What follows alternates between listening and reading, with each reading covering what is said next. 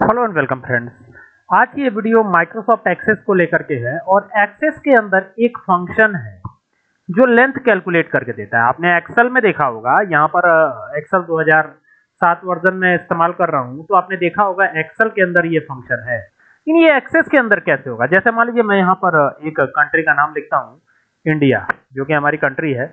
और यहाँ पर अगर इंडिया की लेंथ कैलकुलेट करनी हो तो केवल आई एन लिख देंगे और एंटर कर देंगे तो ये इंडिया बन जा रहा है।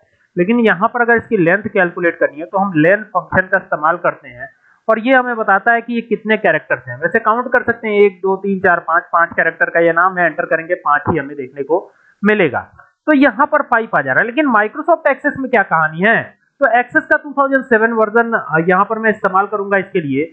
और यहाँ से हमें जाना है ब्लैंक डाटाबेस पर। और जैसे ही ब्लैंक डाटाबेस पे जाते हैं तो आपके सामने एक नया ये आएगा। यहाँ पर डेटाबेस का नाम आ जाता है। तो डेटाबेस 309 यहाँ पर आ रहा है। और ये भी बताना ज़रूरी कि इसके फ़ाइल की जो एक्सटेंशन होती है, वो. डॉट एसीसी होती है, जो कि मैं पिछले कई सारे वीडियोस में बता चुका हूँ। ठीक है? अब यहाँ से क्रिएट पे क्लिक करना है। तो लेन फ़ंक्शन यहाँ पर कैसे इस्तेमाल होगा? सवाल यही है कि लेन फ़ंक्शन को यहाँ पर कैसे इस्तेमाल किया जाए? कि यहाँ पर जैसे एक्सेल में हम कर रहे हैं, देख सकते हैं ये एक्सेल वाला है। तो वैसे ही यहाँ पर कैसे इस्तेमाल होगा? तो आइए देखते हैं, यहाँ पर सबसे पहले क्या करना है आपको? इसको क्लोज कर देना है। तो यहाँ से इसको क्लोज कर देता हूँ और यहाँ पर अब जब आप आएँगे तो यहाँ पर आपको मिलता है एसक्यूएल व्यू क्या मिलता है? एसक्यूएल व्यू मिलता है। तो यहाँ पर एसक्यूएल व्यू में चले चलना है। तो क्वेरी डिज़ाइन पे जाएँगे और जैसे इसको क्लोज करेंगे तो यहाँ पर एसक्यूएल व्यू मिलेगा। बस यहीं पर आपको आ जाना है। ठीक है? अब करना क्या है? कैसे करना है उसको समझिए। यहाँ पर आपको सेलेक्ट लिखना है। इस तरीके से सेलेक्ट लिख लीजिएगा। सेलेक्ट लिखने के बाद क्या करना है? जैसे ही आप सेलेक्ट लिखते हैं तो यहाँ पे L E N G T H length लगाइएगा फ़ंक्शन और यहाँ पे ब्रैकेट को कर लीजिएगा ओपन और यहाँ पर जो भी आप लिखते हैं, वो स्ट्रिंग लिख दीजिएगा। अब आपको ये बताने की ज़रूरत भी नहीं है कि स्ट्रिंग सिंगलेटेड कॉमा या डबेटेड कॉमा के अंदर लिखा जाता है, ठीक है? तो यहाँ पर मैं लिख देता हूँ एक string we are learning L E A R N I N G SQL. ये मैंने लिख दिया और डबल कॉमा को क्लोज कर दिया ब्रैकेट को भी क्लोज कर दिया है, देख सकते हैं, ठीक है? और अब अगर यहाँ से मैं टर्मिनेशन दे देता हूँ टर्मिनेशन यानी सेमीकोलन यहाँ पे ये देख लीजिए, ये सिंटेक्स आपको लिखना है। और अगर ये सिंटेक्स लिख करके यहाँ से आप रन करवाते हैं तो आप देखेंगे कि ये रन हो जाएगा और रन होने के बाद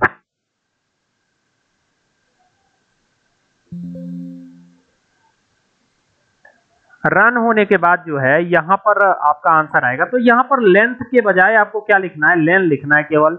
और लेन लिख करके और अब इसको चला दीजिए। तो यहाँ पे आप देख सकते हैं, ये 19 कैरेक्टर आपको दे रहा है, ठीक है? और यहाँ पर ऊपर एक E X P R one thousand आ रहा है तो इसका क्या सोल्यूशन है? तो वापिस एसक्यूएल पे चले चलते हैं और इसको नाम दे देते हैं as length L E N G T H और यहाँ से टर्मिनेट कर देते हैं। और टर्मिनेट करने के बाद अब इसको चला देते हैं। तो आप चलाएँगे तो देखिए लेंथ के नाम से आ रहा है।